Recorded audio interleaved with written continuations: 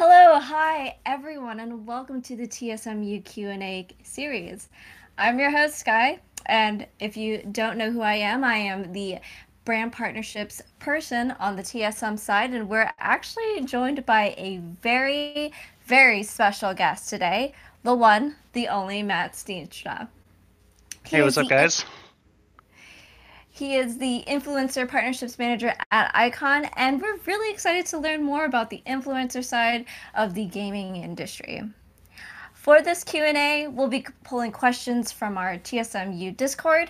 So if you have a question, please let us know and head on over to the Discord at discord.gg slash TSMU and ask all of your questions in the Ask Stream Questions here channel. Once you ask your questions, join the waiting room voice channel and wait to be selected to join us on the show. While we're getting uh, people settled in and getting their questions in, Matt, why don't you let us know about yourself and what you do as a influencer partnerships manager? Yeah, no, definitely. So I am an influencer partnerships manager at IKON, which is a gaming centered talent agency. Uh, basically, IKON is related to TSM in that we're sister companies but separate legal entities. And um, yeah, we're made up of um, talent that range from Doublelift, Myth, Eco, DAF.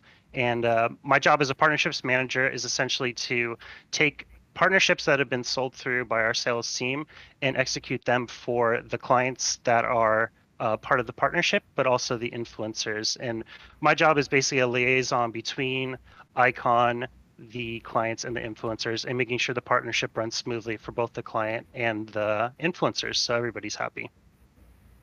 Nice and I, I, think that's really exciting and I, I hope you guys get to learn more about matt's role and what he does. So uh, i believe we have a caller today um, streep welcome on by. Hello hi and welcome um, I, i'd love to hear some of the questions you have for matt today yeah, of course. Uh, first of all, I'm, I'm super excited to be asking you questions, Matt.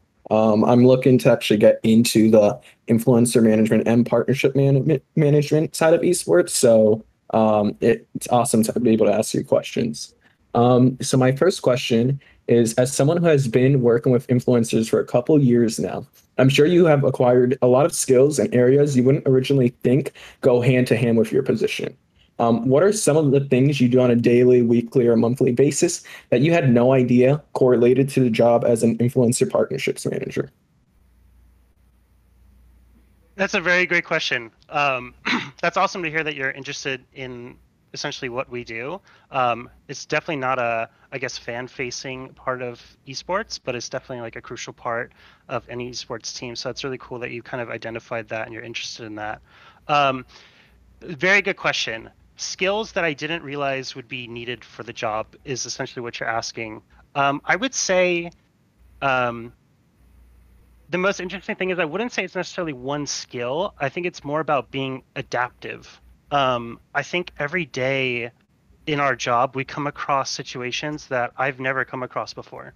Um, you're kind of sometimes learning as you go, but also just you know using your past experience um, to kind of inform the decision to be made about this situation that came up. Um, I can I see not uh, I see Sky nodding because constantly there's there's things that come up with like a client has a change for something or the influencer didn't wake up or you know there's just so many different situations. It's more about being adaptive and being able to I guess effectively communicate both sides, client side and the influencer side. Um, I would say if if you want to land on a specific skill, I would say like communication's huge, but also being very attention to detail oriented. Um, I can't tell you how much of the job is triple, quadruple checking your work because if you have one typo on a tweet, it's game over, you know? Like, so I think those are things I didn't anticipate as being such a big deal, but they're crucial everyday deals or details for the day to day. Yeah, thank you so much for that. Yeah, communications definitely. I, I haven't been doing uh I, I figured out that I wanted to be uh I wanted to pursue a career in like influencer management and partnerships like nine months ago. For the past nine months I've been working with influencers and stuff like that. And like communication is one of the most important things I uh see. And I guess a follow up question to that is how do you communicate well with an influencer you're working with without coming off as pushy, right? Um, sometimes they just, like you said, maybe they just sleep in or they just don't have uh, great communication skills and staying on top of stuff. And part of like your role is to make sure that they get things done. How do you communicate effectively that uh, like I'm kind of doing this for you and this is to help you and I'm not just being pushy, I'm not being annoying. Yeah, that's a that's a great question. Um, that's definitely you've kind of hit on something that's that's actually pretty um, advanced for our role is kind of balancing that communication with influencers because I mean you run the gamut of influencers that used to be um, you know engineers or people that this is their first job out of high school uh, you know? So every influencer is different in how they react to communications different. I think one thing that's helpful is is kind of training them to understand that um, you know yes these deal flows are coming in and that you're getting deals because of your current situation but if you aren't you know executing these deals or you know not being responsive or being difficult to work with like these deals aren't just going to keep coming in. Essentially you have to work to maintain these relationships and and oftentimes there are the most effective relationships or the most effective partnerships are the ones that are um, reoccurring, like renewing. Those are the easiest ones to secure and, and usually drive the most revenue. So I think just having them understand that this is a job at the end of the day and not something you can just opt in and out based on how you're feeling that day. Yeah, thank you so much. Totally makes sense. Um, I guess to follow up on that again, um, is as a broad thing, the esports industry kind of lacks a clear path to success, right? Um, and there doesn't seem to be quite a formula on how to obtain the position you desire. And I think that's especially uh, true for influencer management and partnerships management. Um, other positions like event operations, team manager, social media executive are starting to become more like fairly known with like a bunch of resources coming out to help them uh, understand the roles better, right? And I feel like influencer partnership management lacks the acknowledgement right now and therefore has very few resources to help you get your foot in the door. Um, what advice do you have for people looking to get into this side of esports? Mm. We do lack acknowledgement. I love that. Um, it's a good question. That's interesting that you kind of touched upon that. That there's no book, I guess, on how to do the job that I do yet. Stay tuned. Um, but um, that's a good question. The what you kind of touched on about the path to success to esports it's kind of a difficult one because I, I kind of have a uh, my own opinion on this in that I feel that esports is still pretty small in my opinion, and by the industry by in industry being small, the amount of jobs is not you know as easy to come by. So, for instance, my path to becoming or working in esports wasn't necessarily like my goal was esports. Um, my I received experience by working at an ad agency. I worked at another esports gaming talent agency. Um, so I think one of the things that's it's kind of important is that it's kind of hard to get your dream job on the first go. Like you graduate college or you decide you want to get a job, I'm going to work in esports. I love the enthusiasm, but it's not necessarily as clear cut as that. It can be really difficult. Um, so what I would do, what I would um, in, advise anybody that's looking to work in esports is kind of you know write down all of the esports companies you can think of and check all their websites and see if there's jobs available. Um, and if there are apply to them. And if you get it great. But if you don't you don't give up.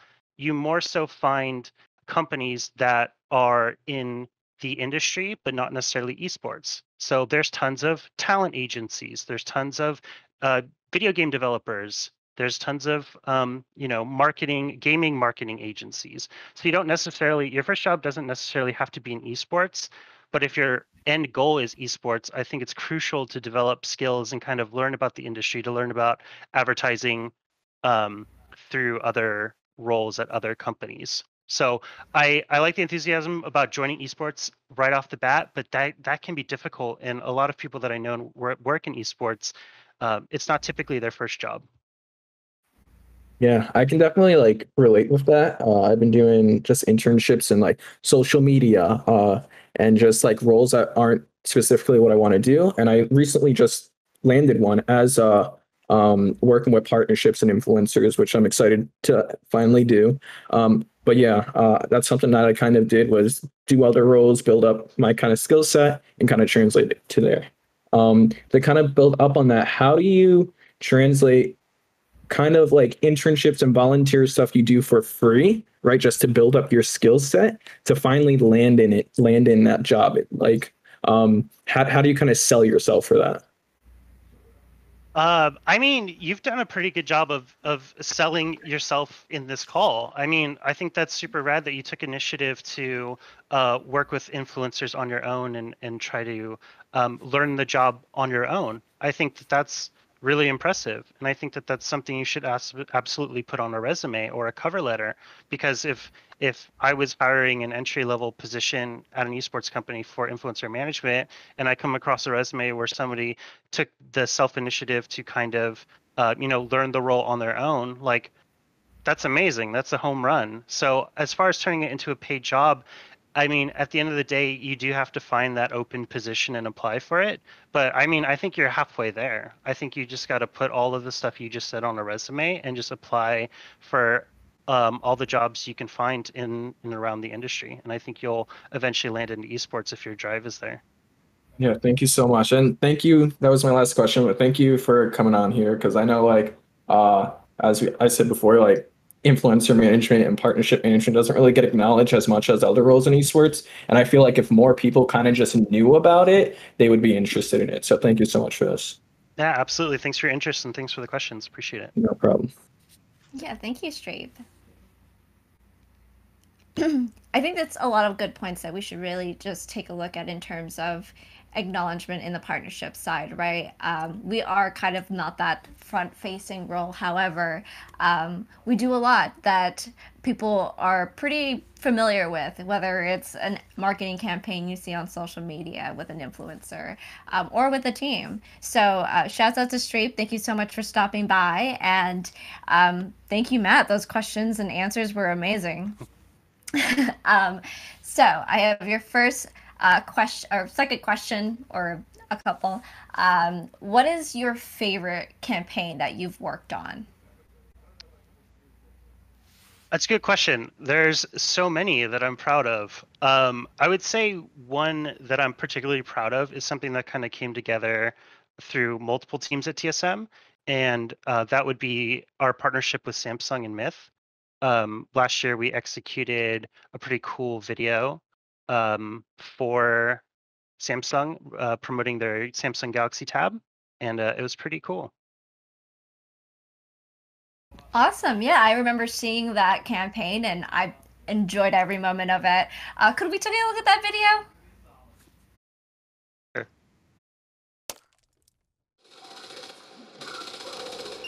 The cake! Okay, come on. I hope the cake isn't burnt. Come on now. Oh! oh, okay, it's a little bit toasty. Coach can fix that. Oh, maybe Coach can't fix that, all right. Shoo, that is toasted to a crisp. See here now. 30 minutes? I have it. We're gonna bring out the Texas twist, baby. Come on. Woo! Make it happen. Hit your shot. Get it? Oh, come on. Are you kidding me? You're going to miss that. Ah!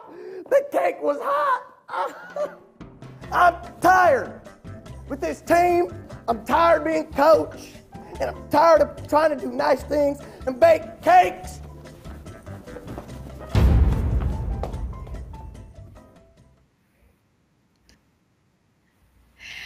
Thanks. I think that was an amazing campaign and it was so fun to watch. Um, shouts out to Samsung and to you guys as well. Yeah. Uh, can I give a little bit of context on that video actually? Yeah, let's uh, learn more about it. Yeah. So um, I think the reason why we picked that video is that um, it kind of it kind of encapsulates kind of the full scope of the job sometimes and that was samsung wanted to execute a video with myth promoting their galaxy tab and that was the instructions And so my job is to take those instructions and then kind of work with a myth and our TSM's content team, which did an incredible job. Shout out to Shane and everybody else on the team that came up with the idea and shot it. But there was a lot of back and forth as far as you know creating the idea, communicating that idea to Myth, him get uh, him you know giving his spin on it, and also providing that idea to Samsung, getting their approval, shooting it. So there's so much work on the back end to make that video happen.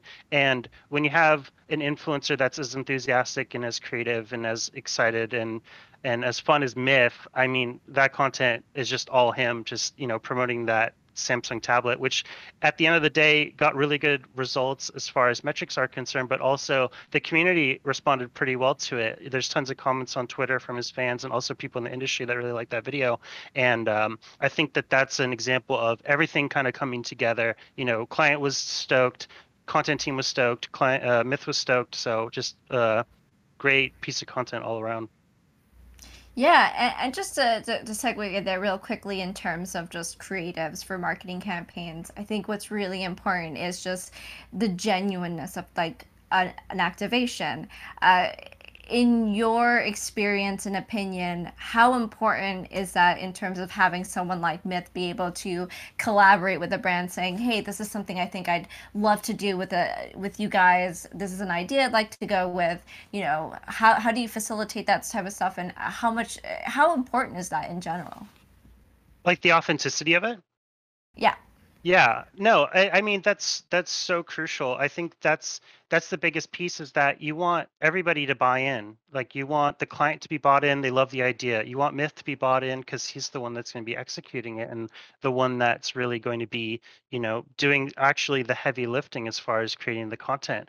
And um, I think the other piece with that and something that's like very important, I would say, in partnerships, but also influencer management is um, viewers and fans of content and viewers of content you know are smart and they can sniff out if something isn't authentic and isn't organic and doesn't fit the channel or doesn't fit the person. So uh, there's a lot of times where you have to kind of massage something so that you know that it works for everybody involved and i think that when you get something that is authentic at the end of the day and everybody's excited about it then you know the fans and the viewers are excited about it as well yeah, thanks so much for answering that question. We have another call today, and it is a familiar face, Xenos King. Um, welcome to the call, and you know it's been a while since I've talked to you, but how are you doing? And uh, what are the questions you have? Hey, Sky. Hi. you. And uh, Matt, thank you so much for for doing this. This is actually really great content. Yeah, no worries. Thank you. So uh, I create educational content surrounding all aspects of branding that helps uh, creators mostly and also students um, in our industry. And so I had some questions on branding. And I know as a um, agency, you guys, you know, obviously work with a lot of brands, but also the influencers that you guys take care of. So, what are some of the biggest challenges to helping creators continue the growth of their personal brands, such as connecting them with the right brands to work with, or collaborating with other creators, and even the innovation of their content that um, obviously, you know, has to make sense to both their brands and the audience that they serve? Uh, that's a really good question. I had to write that down because you you brought up some really interesting pieces there. I think as far as like elevating their brand and kind of helping them build their brand, it's it's really a two-way street, I would say. Um, the the person that knows best what serves um, a content creator's audience is the content creator. Um, you know, they started from nothing, built their audience up, and got to where they are. Um, so I think what is super crucial is you know talking to them and getting their feedback on kind of like what's the direction that they want to go with their content? Because at the end of the day you want them to be excited about what they're doing. So i think first and foremost it's it's getting on a call with them it's having constant communication with them and kind of figuring out this is this is the direction i want to take the stream and this is kind of like how i want how i envision growing my brand. And then what we do as a talent agency and as a team is that we get together and kind of you know take their input and also kind of give our spin on it either give feedback or kind of be like hey well we're also noticing you know these these trends or these directions as far as content is concerned. Like is this something you're considering? Or maybe like we give them basically uh, recommendations or just feedback based off of their input but also what we see in the industry. So i think once we do that, you kind of just come together and collectively figure out ways to to grow the brand. Because I think it's a, a two way street. I think both both parties can help elevate the brand. Mm, yeah, you get a real um, you gave a really good point there. What happens if the creator is a little bit confused? You know, I think in every person's career, there's a time where they kind of plateau and they felt like, all right, I've done a lot, but then now I'm not really sure where to go next. Um, how do you guys, as a talent agency, help facilitate that discussion to take them to the next level, or maybe just even the next place that they uh, need to be, right? Whether that might be like a horizontal shift. Mm. That's a good question. Um, that's a really good question. Um, what I would say, or what I, if if if that was an influencer talking to me about, or a content creator talking to me about you know feeling that they've plateaued or not sure what what they want to do um, you know i would encourage them to um, kind of consider what what they want to do uh, sometimes i think what's super understated and not used enough is taking breaks from content. Um, i think a lot of times influencers are just so always on and grind so much that sometimes that they can just get burnt out or they just lose sight of kind of maybe what they want to do. So I, I would either encourage them to either take a break and you know kind of sit on it and, and think about what they want to do or maybe try some other games or try content that they haven't done before and see maybe like um, oh, maybe I'm really interested in um, GTA RP, or I'm really interested in TFT or strategy games or something. Like there are so many games for every type of person, and there's so much content on Twitch that I wouldn't necessarily worry about finding the right piece to make them get bigger and bigger but what what's the best content for them to create that will keep them happy because at the end of the day we want happy influencers Exactly, right? So then if they're happy, then their audience obviously uh, benefits from it. Um, I know we have a lot of people in line, but you said something that made me want to ask another question. Would that be all right with you? Sure. So w- when it comes to, you know, maybe making that pivot, making that break and wanting to try other games, sometimes when a creator is kind of um, you know, let's say they've been around for a while and they establish themselves with a specific type of game. Um, there might be some students who are also interested in creating content or working with other creators. How do you help creators with the challenge of trying to promote themselves instead of just the game that they play? Um, if you if you know what I'm saying, you know, falling into the trap of declining viewership or losing a lot of the engagement because they don't play a particular game anymore. Hmm.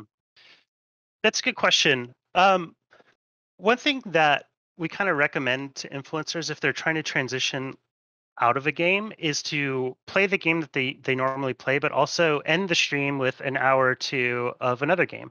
Um, just kind of um, a showing you know their fans that there's this other type of content that i'm also interested in but also kind of train not training the audience but kind of just you know um, i've played the game that i usually play but here's me playing another game and you know it's still the same person it's the same personality it's the same you know content creator that you enjoy just playing a different game and maybe they might find out that they're actually really interested in this other game the fans being um, so i think it's baby steps i think. It's it's hard to just jump transition to another game or another type of content but i think maybe you know baby steps or slowly transitioning is maybe the better play there Awesome. Yeah. And I think eventually they could start transitioning more into um, having their audience be there more for the person's personality rather than just the game. So, like you said, absolutely. Yeah. Yeah, definitely. All right. Well, thank you so much for your time. Uh, you know, I hope you guys have a good night, Sky. Great seeing you again. Let's catch up soon. And um, once again, thank you guys. Yeah, no worries. Yeah, thank you. Thank you so much. And it's great seeing you on here. Um, so yeah, I think that's a lot of amazing questions. Just learning more on the influencer side and how you build yourself as the influencer, right? Um, so great questions, Peter. Thank you so much. And we have another voice caller today. Uh, we have Amit coming in. Welcome, Amit. How are you? And how is your day going? I am actually Carlos. Oh, uh, apologies on that. Uh, Carlos, welcome to the call, Carlos. Um, how are you doing today? I'm doing amazing, enjoying all these knowledge bombs that were getting dropped by Matt. Trying. He's Anyway. the wise wizard of the partnership side. All right. Anyways, so my question was, um, how do you work with influencers who are used to running a solo show?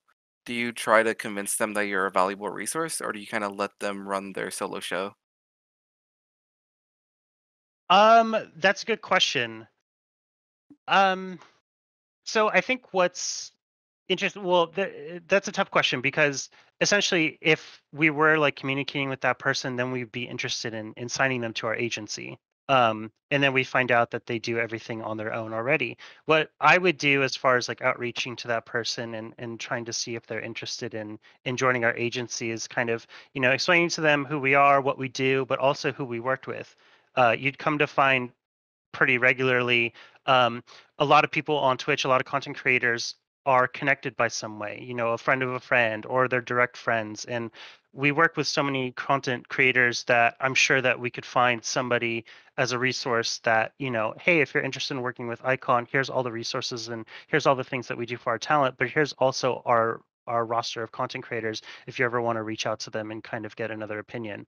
Um, I think that that's a pretty effective tool as far as you know giving them the option of signing with us. But I mean, if a content creator at the end of the day wants to do their own solo show and, and run everything themselves, then all the power to them. Awesome. That was actually really just all I really had for my question because I wasn't sure if it was like um talent would come to you guys or let's say if TSM also signed a talent talent creator. I wasn't sure how that relationship would work between someone that was just used to running everything themselves on their Twitch channel. Yeah, I it goes both ways. Um, I would say that you know our agency reaches out to talent for sure, and there's also talent that are interested in just joining in, uh, agencies, and there's no problem with talent reaching out to different agencies and kind of you know getting information on all of them and kind of making their own decision on on where they want to move. But yeah, that's kind of it goes both ways to answer your question. Awesome. Well, that was all for me. Well, thank you so much, Carlos. That was a great question, and I hope that uh, shared more insight on the influencer side and how they get picked up at from agencies. Um, we have another call today. Apologies, Amit, come on joining us today. Hello, hi, and welcome. How are you doing today? Hello. Yeah, that was super trippy because you said Amit, and I was watching the stream, and I was like, wait, I'm not in the correct voice call yet. Um, yeah, hello, my name is Amit. Uh, I'm a sophomore at San Jose State University, and I'm just trying to learn a little bit more about like influencer sponsorships, plus partnerships, because I'll be interning this summer um, at Corsair as their marketing, esports, and sponsorships intern. So I don't really know a crazy amount of stuff. So I just wanted to ask, like, do you have any tips for someone new going into it, like without like, you know, like I understand like streamers, like I watch streamers and everything, and I have like some knowledge about it, but like any tips going in that I should know of, maybe like some scary things, maybe some good things, like anything. I'm open ears. Um, that's a good question. Um, for me, I would say there's so many sponsored campaigns being run on Twitch. I would encourage you to try to find them out and watch them. Like if Mhm. you're just scrolling through Twitch and you see a hashtag ad, Mhm. watch the stream and kind of see essentially because there's so many different ways to run a sponsored stream. There's also tons of sponsored social media posts, Twitter, Instagram. I would kind of just, you know, kind of look at them and, and see um a what it what it's about maybe look at the copy or the the writing of the the social posts and kind of see like how it resonates with you and maybe you like the sponsored piece or you don't like it i would just kind of um kind of take a mental note of just like oh i liked this because of this or i didn't like this because of this um, you know there's tons of partnerships out there and and you can definitely take feedback and kind of make your own opinion on on what you see that's readily available um, as far as like getting prepared for your internship um, I mean, you'll be in good hands at Corsair, and, and, I'm sure they'll they'll teach you everything that you need to know. Um, I would just be sure to kind of just take really good notes and kind of just pay attention to all the pieces because as i said earlier i would say the biggest thing with partnerships is attention to detail and being adaptive. Um, just make sure you know you're paying attention you're you're crossing you're crossing your t's dotting your i's and just double checking that everything's in correct but you'll be in good hands and i, I think just being aware and kind of you know just looking into the industry of twitch social media and everything and just looking at existing sponsored work and just you know just checking it out and seeing what you think about it. Thank you yeah that makes a lot of sense and i do go on social media and twitch a lot so that is a good idea for me to just look around and see what i like and what i dislike and like kind of keep mental notes about it. Thank you for that. And kind of like similar to that is there any like hard skills that you would say like like like Excel, PowerPoint, or something that you use a lot of that you like wish that you potentially maybe learn more of uh, with like your free time or any type of like platforms like that that you think is useful in like the sponsorship slash influencer side?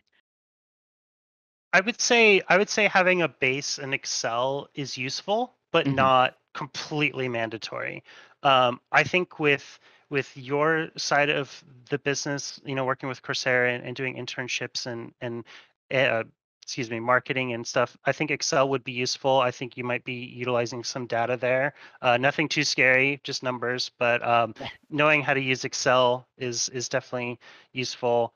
Um, aside from that, not so much. I mean, if you have a good base on on social media and Twitch, it's it's pretty straightforward. You'll come to find. Cool. And yeah, thanks for all the tips. That really helps because like I'm a little scared going into it, so that really helped. Um, is like just like lighthearted question, like what's your favorite memory been while you've been at TSM or just coming into esports? Like what like what do you love about it and like what's your favorite memory? Um, my favorite memory. Um, it wouldn't even necessarily be so much about the esports element of it. I think I just genuinely enjoy all of the people that I've worked with at TSM.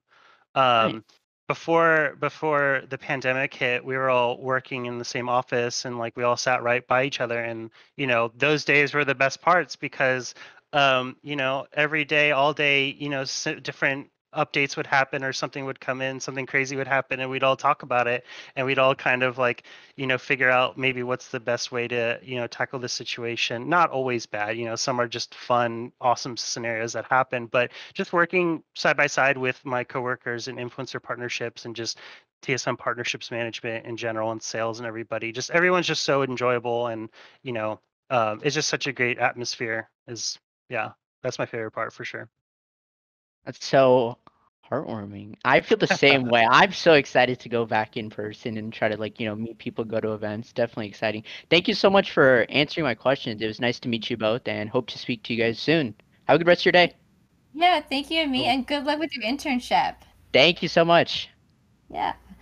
All, honestly, Matt, my heart is so warm that you said that you love working with us at TSM Partnerships.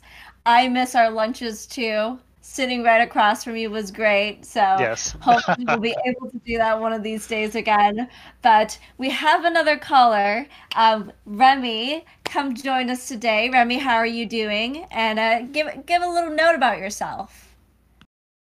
Oh hey, I am Remy, and at first I apologize for my I apologize for my very bad English because I am from Poland actually, and it's pretty late for me. So so so you know and uh, my question is what type of approach do you find more useful in your job? Would you prefer rather being more strict like uh, trying to be stick more to the paperwork and having everything sorted out with a lot of backup plans? Or do you find uh, the the approach more loose better to when you sometimes go for a full improvisation?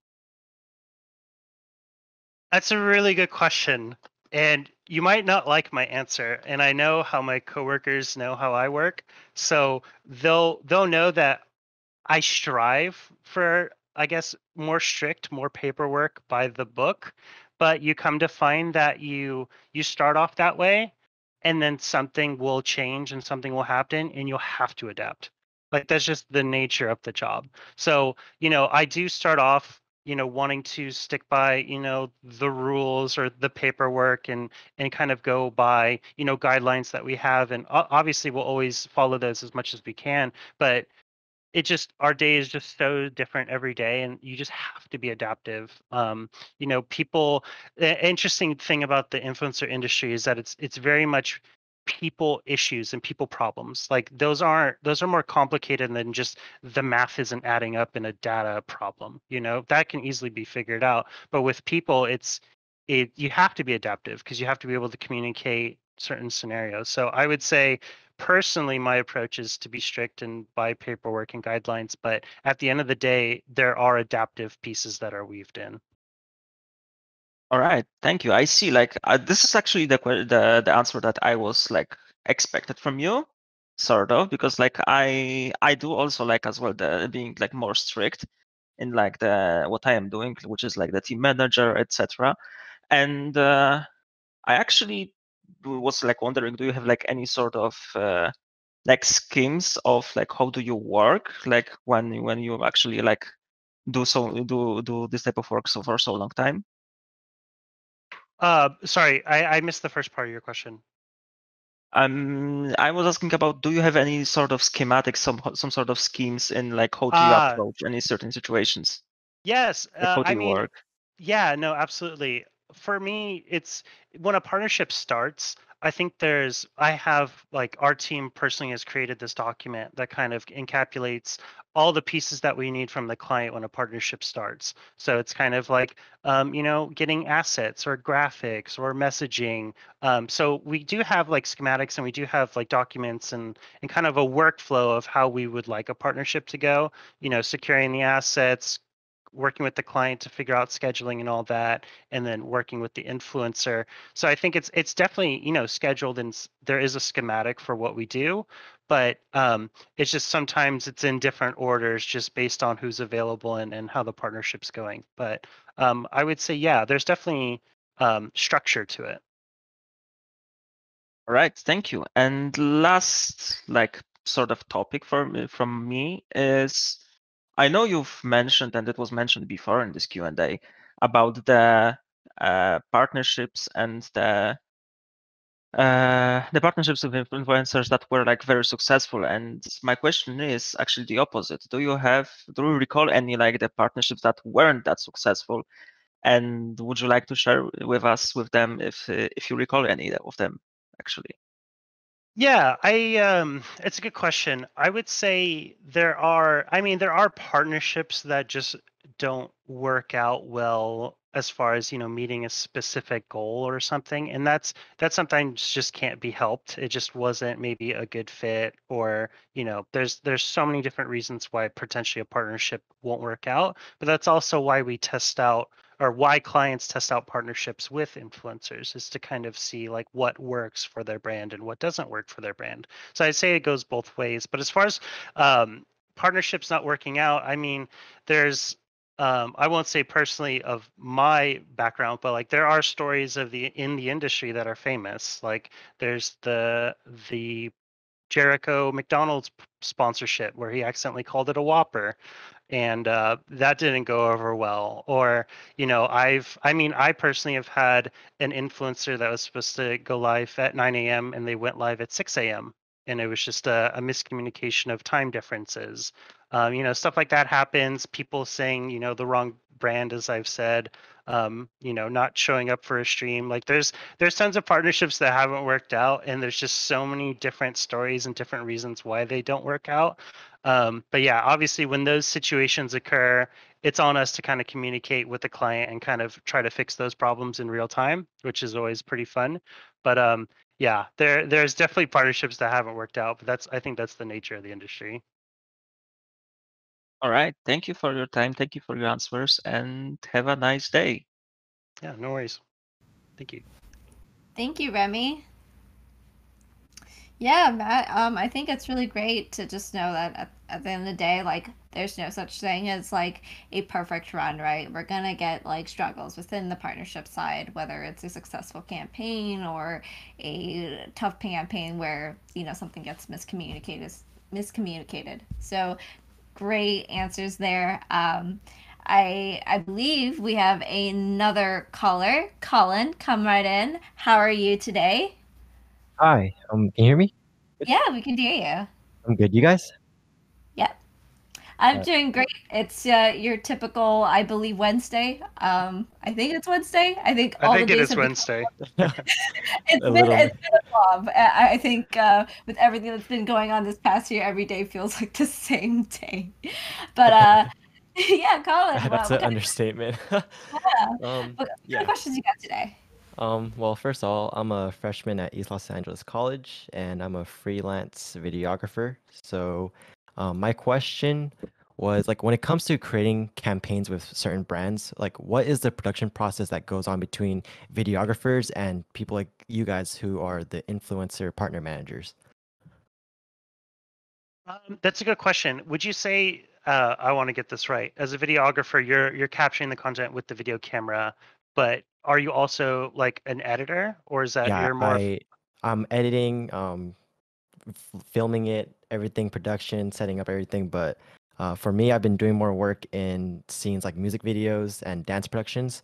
So, and I do, I, my main interest is esports. So I'm trying to figure out the production aspect of um, any content or, or you know, um, campaigns that you guys run with, you know, TSM and other brands. Yeah, no, absolutely. It's a great question. Um, I would say that we are very fortunate in that TSM has an incredible content team. Um, they do unbelievable work. Um, they they see it all the way through from ideation to you know going back and forth with client on feedback, massaging their ideas, capturing the content. There's a a, a whole crew that you know captures the content but also edits. They're full on. That's what they do every day. It's it's a pretty significantly large team, and yeah, I mean that's that's how our teams um, kind of intersect in that when there is a larger video production piece to be done, uh, you know, I'll communicate with the TSM content team, and that's kind of where we cross paths there. And you know, uh, TSM has a very great and open communication, um, you know, channels, and that I can easily reach any content team member whenever I want to, even if it's a very tight turnaround, which is just the nature of the industry sometimes. But Yeah. um, as far as like working with videographers and stuff, yeah, TSM and I would say all of esports, I would say each esports team usually has a content team, and uh, that's definitely comprised of videographers and editors. So I think if you're interested, it definitely keep an eye out for all these different uh, esports um, teams and and their content teams and if they're hiring. And on the other side of it, we also do work with brands, and sometimes brands want to use their own production companies. So I Mm. think that's another um, way that esports does get tied in with um, videographers that aren't necessarily in house, but often you know on brand side as well. Um, there's a lot of touch points for that. Yeah. So like earlier you touched base on the the campaign with Myth Myth and Samsung and how, you know, you guys really wanted Myth to buy into the campaign you guys were building. Mhm. Um, how often do do brands come with their own vision of a campaign they want and how often do you guys pitch them ideas like what what goes through the process of getting the green light from the brand to film this certain, you know, campaign? Um, that's a great question. I wanted to write that down. Um, so it's interesting because every client's different, right? Um, there are some clients that are like, okay, this is the product we want to promote, and this is our idea, right? So what we'll do is we'll take that idea and we'll share it with our our content uh, creator and say, hey, this is the idea for the content that the client wants to shoot. What do you think about that? And they'll give their feedback on that idea and you know if they're not a fan of the idea we'll be honest with the client and let them know like hey you know this idea didn't resonate with the influencer um, what's also helpful is that because we have a content team instead of just saying no we don't like your idea what we can do is be like hey this uh, content idea wasn't a great fit for our influencer but these are ideas that he did like that we think could work with your brand. So as far as uh, a client bringing an idea that's kind of how we can you know take their ideas and kind of get feedback and say like does our content team or content member want to use that or not? And then the other way around we also have awesome clients that are just like here's the product we promote we want to promote. Give us ideas. And that's like our definitely prefer, preferred uh, situation because a our content team is just so great that they come up with such great ideas, but also we can then come to the content creator and be like, "What do you want to do?" And that's usually nine times out of ten the best performing content is the one that you know is con is influencer driven. Yeah, I, I think I, I'll, I'll add to that. I think what Matt has touched base on is definitely really important, right? Transparency with the client, letting them know, like, hey, this is something that we don't think would be, you know, something what would be successful, right? Um, being able to be transparent with the client, but also like instead of being that no man, like saying no, that that's not going to work out you know try to find solutions find that middle ground with the client to let them know like hey we hear you. We think that this might work better with just some of the brand notes that you might have. So definitely agree with matt here. I think it's really important to keep that transparency between the client and making sure that again at the end of the day we get what they need whether it's their brand focus or uh, messagings that they want to get across to you know the gaming and esports industry Thank you. I have one more question, if you guys don't mind. That kind of leads into um, bouncing between I, bouncing ideas between client and, and TSM or esports orgs in general. Um, what happens if they, they tell you that you know you have f- creative freedom to just market their item or whatever it is in any way you guys feel is is fit? But if you guys deliver the final product and the client isn't happy with it, where do you guys go from there? Does the project fall through? Do you guys reshoot, push back the campaign, so on and so forth? It's a good question. Um, what I would say is is um, excuse me, in a partnership, there's usually so many touch points along the way that you can easily kind of sift out earlier than the final product if the client's happy with the direction something's going or not. Um, so usually if it's a big project like that, they'll you'll find out sooner than like actually maybe shooting the content that like there there is, you know, they're not perfectly aligned there. Um, what is a good question or maybe kind of what you're alluding to is what happens if you know you're aligned on the direction and then you shoot something and it's not what the client like kind of had in mind or it's maybe not what they were expecting um, that's that's usually a very complicated situation just because you kind of you have to kind of go back to the drawing board as far as like okay well what was agreed upon and did we shoot what was agreed upon because usually it's it's very detailed as far as what the direction is and what the shots are going to be and all of that. And if you know we have the instructions for the shoot and we follow the instructions for the shoot that's essentially you know that doesn't have like grounds for a reshoot to reshoot the content because there's a lot of work and a lot of player time and content team time that goes into it. So usually what we'll do is we'll try to find maybe something that we can do in, in post edit or how maybe edit the piece in a different way to kind of make that happen. But usually I guess the the quick answer to your question is just it would be sifted out earlier than just like the final product. Got it. Thank you very much, guys. It was very helpful, at least in my starting starting my career. Yeah, no worries. Good luck, man. Thank you. Take yeah care. thanks colin Um, yeah, you know, shouts out to Colin. I think it's a great insight to understand. Again, at the end of the day, partnerships works with so many departments, whether it's the social media side, the marketing side, or again, the videographer, video side, right? You're going to be working with so many different peoples, uh, depending on um, what the campaign it might be. So there's a lot of work that goes behind that. Um, so great questions, Colin, and good luck with your search in the esports world. Um, I have a question for you, Matt. Um, this specific question is actually touching base on experience. So, a caller or uh, a fan of the TSMU side, um, PG, asked, with you you having experience garnering partnerships and sponsorships uh, for influencers, do you have any advice, tips for any of those choosing to garner sponsor- sponsorships and brand deals on their own, or who are starting to su- to seek such deals? Um, that's a good question. So I guess the question is is influencers trying to find brand deals. Um, what I would what I would tell somebody trying to find um, brand deals is to think about what are products and what are pieces that um, I use in my content creation, right? Like if you are a Twitch streamer, you use a webcam, you use a keyboard, you use a mouse, you use a computer, and I would just reach out to brands that you use every day because I think that that's such a easy use case of, um, hey, these are grounds to sponsorship me or sponsor me because I am on stream every day. I have this many viewers, and these are the products I use, and it's just so easy for them to promote a mouse if they're already using it daily. So what I would tell that influencers to kind of think about brands that they use and maybe brands that they're interested in and want to promote.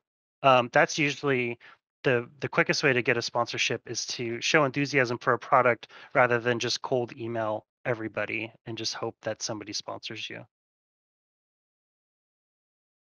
Yeah, interesting points there. I think it's really important that, you know, again, we go back to that genuine phase where we want you to be passionate about what you're repping. And so you should really think about like the things that you really do use on a daily basis, whether it's peripherals or, you know, meal kits or whatever it is, right? So thanks, Matt, for answering that question, and shout out to PG for answer, uh, asking that question. Um, so we have a, another caller coming in today. He just came in. Welcome back, Streep.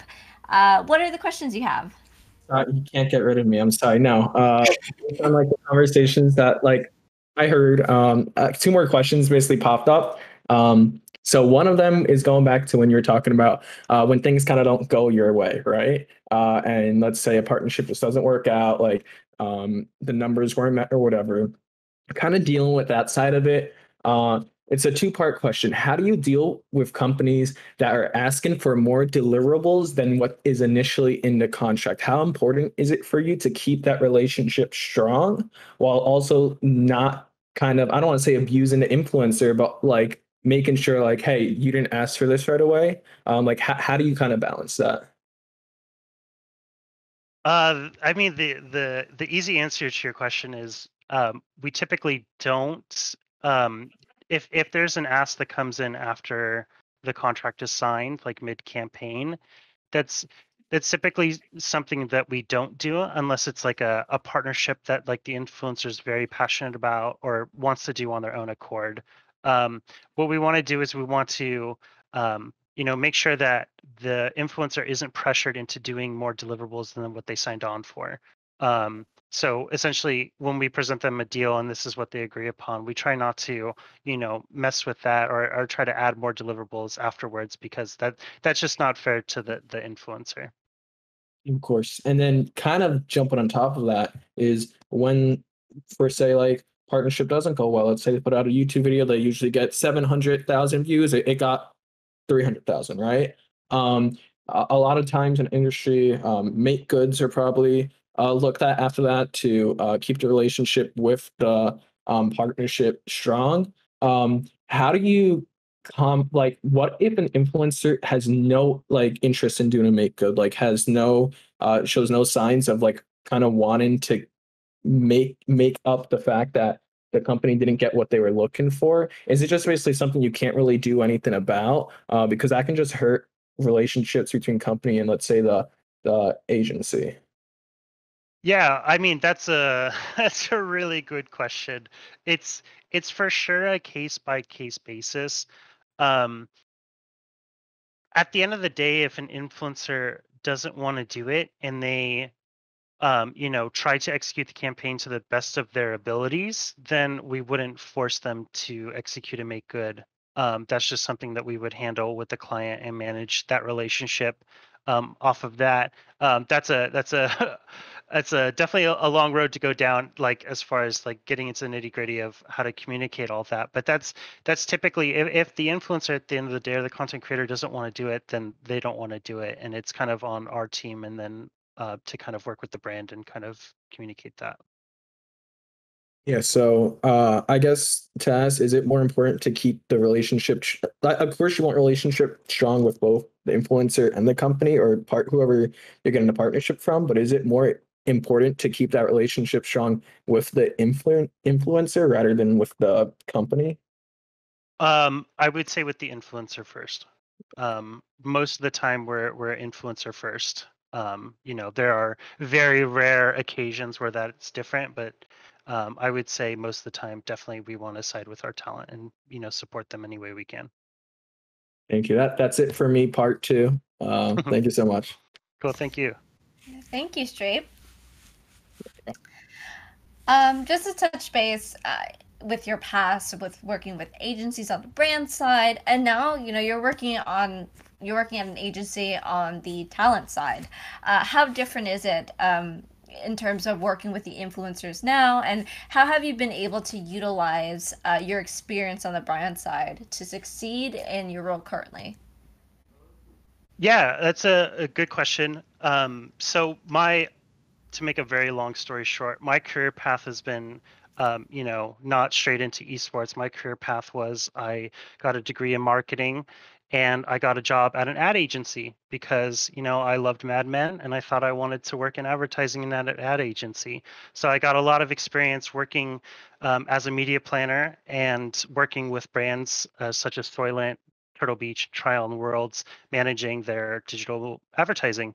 And through that job, I kind of learned the core of advertising like what is the goal what what are the metrics that we want to hit that mean success for the brand um, i think that that experience was so valuable because it made me understand kind of what brands are trying to achieve and what metrics are important in order to achieve those. So taking that knowledge and then applying it to influencer partnerships it's it's definitely different but at the end of the day it, it's still advertising and we still want to as an agency and with our talent uh, through influencer advertising you know reach those goals for the clients if if it's um, you know a vpn company that wants to sell more vpn subscriptions then you know we kind of um, try to utilize our our experience and kind of come up with a campaign that will help um, the brand reach their goal, but also work with the influencer as far as the, what they want to do for the content.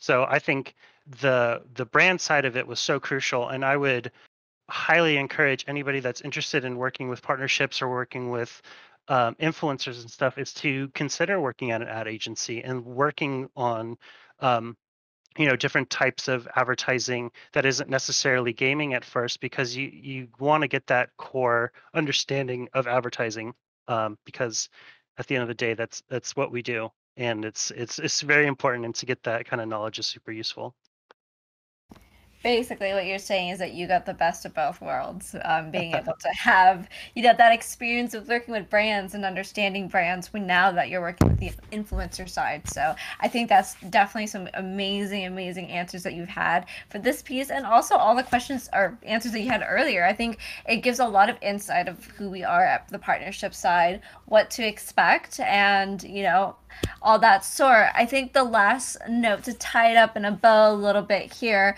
uh, is there anyone or anything that you want to give a shout out to? Any advice you want to give out to to anyone who's interested in esports and partnerships? Uh, great question, Sky. I was not. I wasn't prepared. I should have written all the names down. I feel like I'm accepting an award. I have to name everybody now. Um, shout out to TSM Partnerships. You know who you are. Uh, shout out to my day to day team Will Boyce, Dylan Watkins, sales team at IKON, Cooper, Austin. You guys know who you are. Um, basically, um, you know, everybody I work with daily, super huge shout out to them because um, you know with their help and with their expertise in their related fields they help me get better at my job because one thing that's super useful in in working at a job like an influencer partnerships manager is that you have coworkers to which you can um, kind of bounce ideas off of or bring up a situation of like hey this popped up. What do you think about this? Because this is what i was thinking. What do you think? And i think getting different perspectives is always uh, super useful. Um, so i think that that's that's a the huge thing and so shout out to all of you. Thank you. Um, as far as advice i would say that my my biggest advice overall is to um, I, I, I love the enthusiasm in trying to work in esports, and I think that that's such a good, um, awesome piece that you're interested in. I mean, I love esports. Um, it's kind of funny. I have an Instagram video uh, in 2013 where I was watching TSM versus um, Curse at MLG, and it was, you know, I've been a TSM fan for so long, and so for me to eventually work for, you know, TSM is is is awesome, and that was um, wasn't the plan, but it, it ended up happening and I think that if you're interested in getting into esports, um, that's a good idea. Definitely try. But if you don't get in the first time, like don't give up. try to get a job that's around the industry. Maybe it's you know adjacent. Maybe it's a video game company, video game talent agency, what have you. Um, just try to get around the industry, and then eventually, I, I can see you working yourself in. So, yeah, that would be my advice. Yeah, and thank you so much for answering all those amazing questions. Um, I think it is about that time at the moment. So, thank you, thank you everyone for attending today. It was great to talk to some of you guys and also get your insights and questions about the partnership side. Um, and also, thank you to Matt Steenstra for totally killing it today and giving us more insight on the partnership side. I think we definitely need more eyes on this industry and also this field as well. So shouts out to you. Um, so just a couple things that we want to add into here. Just um, next episode is going to feature a very very special guest. All of our guests are special. Um, Thomas will, um, uh, I believe, on May 19th at 5 p.m. PST. So tune in, come say hello, and learn more about the content and video side. Um, be sure to also follow the channel uh, so we know when uh, you guys know when we're live. Um, and also, Lastly, please don't forget, join the TSMU Discord channel. It's discord.gg slash TSMU. So thank you, everyone. See you soon. And have a wonderful, wonderful evening.